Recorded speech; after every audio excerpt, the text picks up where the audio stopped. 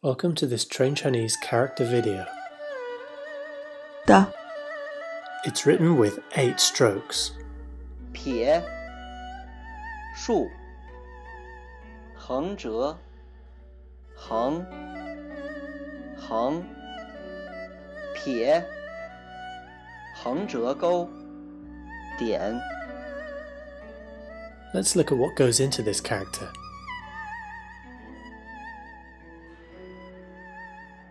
白勺